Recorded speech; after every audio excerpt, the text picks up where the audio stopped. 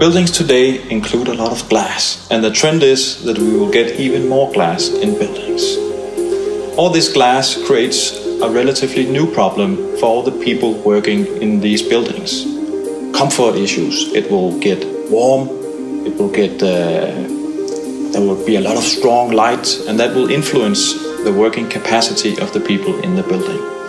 Those buildings with a lot of glass, they need air conditioning, they need ventilation for people to work effectively. The approach that 3M has is the Prestige range.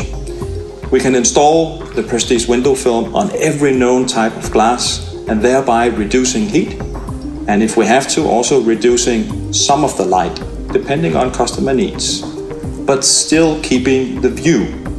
It's not a silver technology with it where it's a dark film or silver film. It's completely transparent. So we keep the view and the, thereby the value of the location.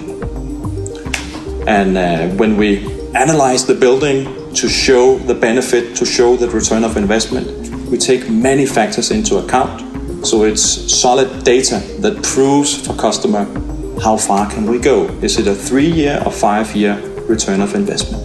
3M Prestige window film will lower temperature, will reduce the heating of the building and the rooms. We will also keep the natural view and thereby keeping the value of the location.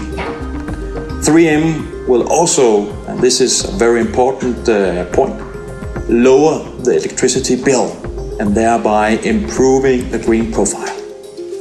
When people talk about window film today, they most often talk about dark, traditional, metallized film. What they probably don't know is that 3M has a window film called Prestige. It is so bright that you almost don't see it. Can it still be effective? Seeing is believing.